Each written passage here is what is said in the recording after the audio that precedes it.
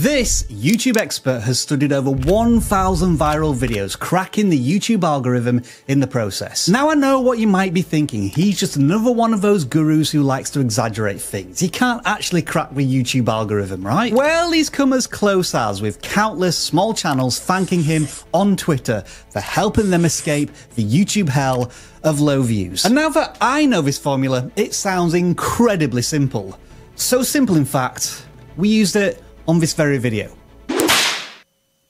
The truth is, YouTube's been telling us how to beat the algorithm for years, but nobody pays attention. All you need to do really is hover over this little icon in the YouTube analytics and there it is. You can increase the chance of YouTube suggesting your content by increasing your click through rate and your video watch time. And today we're going to focus on click through rate. not saying watch time's not important, but if people don't click, then watch time is irrelevant. So, with that being said, what makes you think people click on videos? Now, I like to think that you, the vidIQ Nation, are a bunch of well educated creators, and you're going to say two things title and thumbnail. And you're not wrong.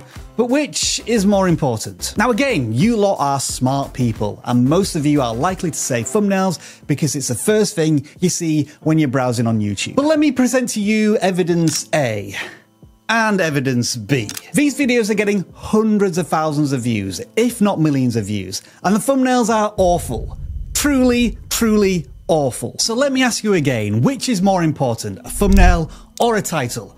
And your answer should be Yes. But today's focus is titles because that's what Jake Thomas, our YouTube expert, specializes in. Jake publishes a free weekly newsletter called Creator Hooks that picks out the best YouTube titles and turns them into templates that can be used by any creator for any topic any niche. And we've got him on the line right now. So, Jake, we don't have time to cover everything, you know, but if you only have three minutes, give us a shortcut, a title template for viral videos that works for small channels.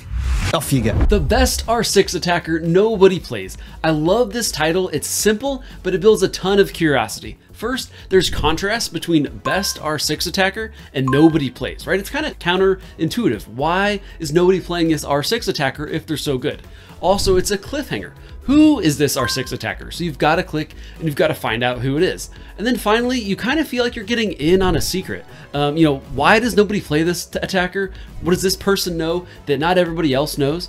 Right? So, and this title can be used for a bunch of different industries. Another example is the best relationship advice no one told you. We ran every day for 30 days. Here's what happened. There are four things I love about this title. First is the time frame. Time frames make videos feel more tangible, so you know exactly what the video is going to be about.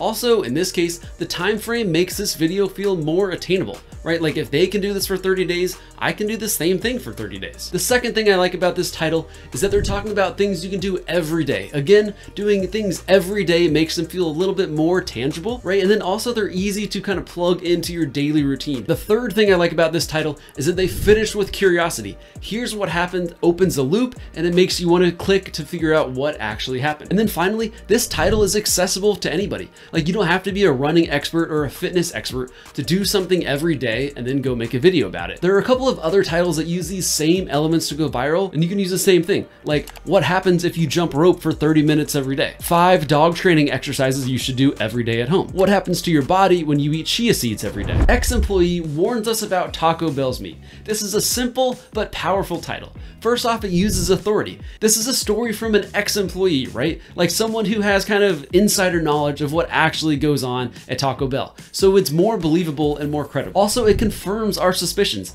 We've all wondered, is Taco Bell's meat actually meat? Or like, you know, why does it give people so many tummy problems? Just that kind of feeling about Taco Bell, it confirms those suspicions. Then it also works because it's a warning. Warnings do a great job at grabbing our attention. And then finally, this title is relatable. It has a broad appeal because almost everybody has had Taco Bell. Another title that went viral using a really similar format is YouTube employee reveals new secrets for growing your channel. Top 10 most devastating wildcard losses of all time. First off, this is all about drama and negativity, right? It's not like best comeback wins of all time. It's most devastating losses, and people on YouTube love drama. And then you've got the fact that this is really epic and extreme. It's extreme because these are the most devastating losses. The words the most actually give this title more power. And then it feels kind of epic because it's talking about losses of all time, right? So it just, you really increase the scope of this video and it feels way more powerful and way more dramatic. And here are two other titles that use similar strategies to go viral. Inside Tokyo's tiniest luxury apartment and 20 greatest discontinued foods of all time. I wish I knew these before I upgraded to Windows 11. This is powerful for two reasons. First off, it's about regret. This is what I wish I knew, right? Regret is such a powerful emotion that almost anybody can use on their YouTube channel because everybody wants to avoid regrets. So people are really tuned in to clicking on those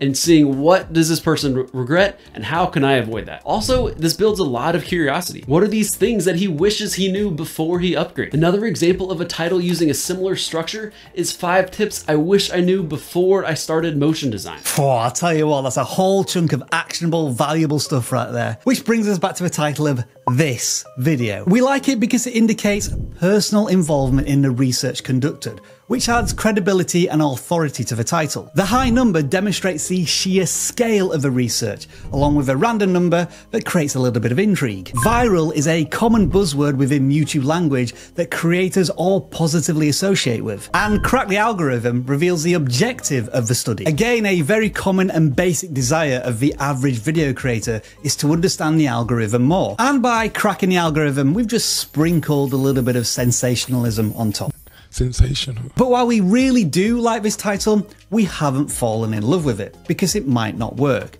and we can't put all of our eggs in one basket.